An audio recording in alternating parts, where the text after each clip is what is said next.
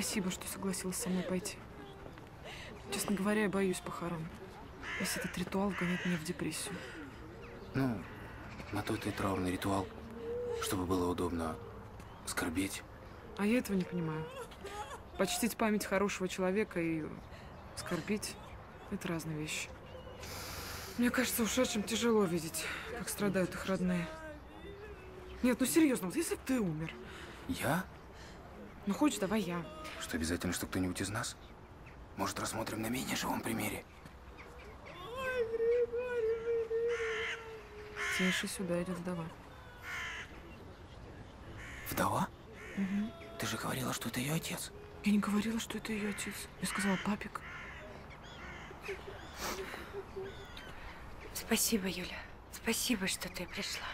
Не за что, я же обещала. Ну как ты? Держусь.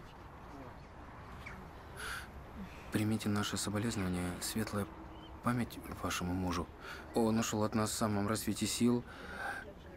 Мы разделяем горечь утраты. Спасибо.